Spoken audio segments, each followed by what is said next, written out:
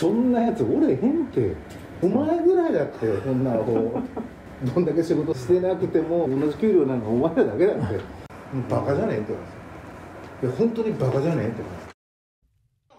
これは東郷町の今田健二町長が町の職員に対しパワハラとみられる発言をした際の音声。東海テレビが独自に入手したものです。そんなやってる仕事さパートのおばちゃんだってできるんじゃない？じゃあパートのおばちゃんと同じ価値しかないんですよ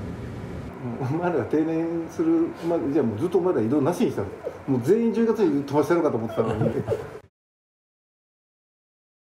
今年の2月の幹部が集まる会議がありましてでその場で部長が最上級のアンポンタン野郎って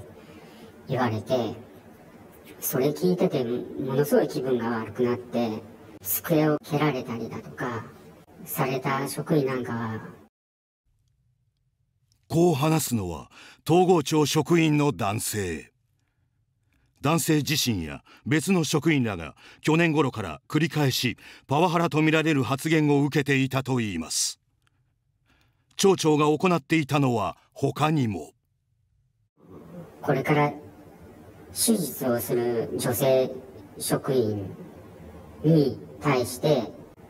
いつ巨乳になって戻ってくるのって声かけたんですよそれって首長が言うことかと。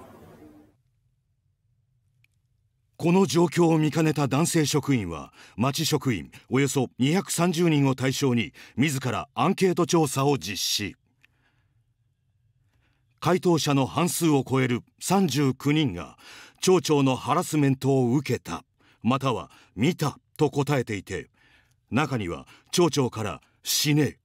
殺すぞといった発言を受けたり着ぐるみを着た女性職員に抱きつくセクハラ行為もあったことが分かりました。いやこんなにひどいかっていうふうに思いましたね。衝撃的でした。相当あの深刻な状況ではあるなっていう。しかもこのアンケート自体にも町長サイドから横やりが入ったといいます。これアンケートやるときに職員が見ることのできる場所があってそこに載せたら載せないでほしいって言われて抑えにかかられたんです。次の世代自分たちの後進がちゃんとあの仕事に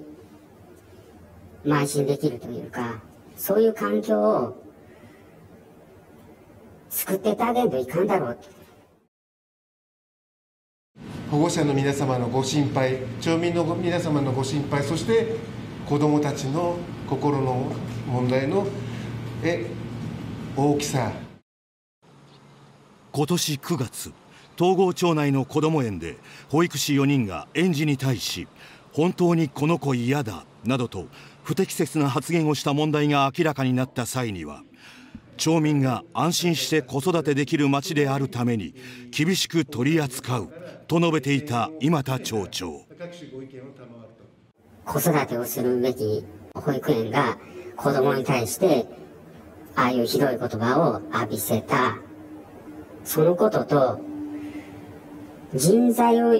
育成するべき町長が職員に対して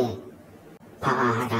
ラだったりするその言葉を浴びせている。それってこととしては一緒じゃないかと。おはようございます。おはようございます。東海テレビです。今朝東海テレビの取材に応じた今田町長はハラスメントをしたっていう認識はないっていう？あの全くないとは言いません。どこの場所でっていうのもちょっと明確ではちょっとありませんので、えー、私の中でちょっとあの一個一個記憶をですね、えー、たどるっていうのも今の、えー、難しいところにはありますけれども。セセクハラを訴えられてる職員の方もいるんですけど。それはあのちょっとないと思うんですけれども。心当たりはない？はい。あの具体的なあのものがあれば別ですけれども。したかもしれないっていう。したかもしれないけどいあの全て会見でお話しします。要するに状況が分かりませんので詳細はお話しできませんので。今田町長はハラスメントの認識について全くないとは言いませんとしたもののセクハラについては否定。今週中に記者会見を開きその場で自身の認識を説明するとしています。町長の職員に対するパワハラセクハラ疑惑に町の人は。それはまずいわ。そんなこと言うような町長だったらそこやめていただきたいわ。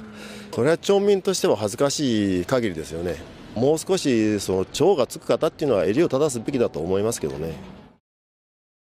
アホかお前なんかできとれへん。一個でもできとるからドーンって話だよ。相当僕も怒りというのか悲しみというか感じてます。個人でやったアンケートなので全てきれいに出てきているわけでもないしあのもっとひどいハラスメントを受けてる人がいると思うので自分としてはあの第三者委員会なりで実態を明らかにしてほしいなというふうに思います。